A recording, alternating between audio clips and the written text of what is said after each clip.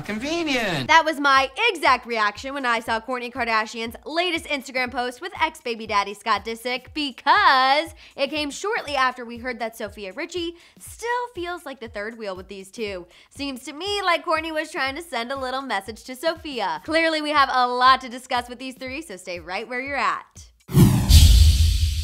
How's it going, guys? I'm Madison Hill. We have so much to talk about when it comes to Kourtney's latest Instagram, so let's get right to the tea. Okay, so as I filled you guys in yesterday, a source recently revealed to Life and Style magazine that despite Scott's attempts to make Sofia feel like his leading lady, she can't help but feel like the third wheel when it comes to him and Kourtney.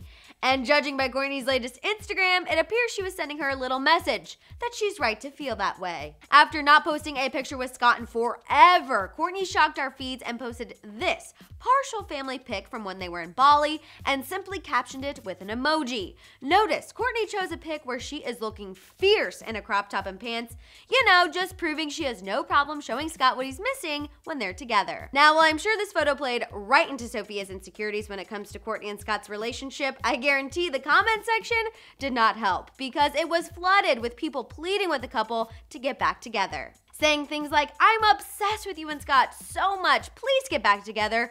And can you guys just get married already and give us another baby? And finally, this person who wants Sofia out for good, who said, please be together forever. I have to say, I agree with the fans on this one. This picture makes it clear that Kourtney and Scott will always be one another's priority, and rightfully so. They have three children together. There is no way Sofia will ever make her way into this equation without feeling like an insecure third wheel, so she might as well just listen and accept Kourtney's little Instagram message and move on. Fingers crossed. All right, you guys, I want to hear your reaction to Kourtney's latest Instagram with Scott. Do you think she was trying to tell Sofia she will always be an outsider, or at the very least play into her insecurities?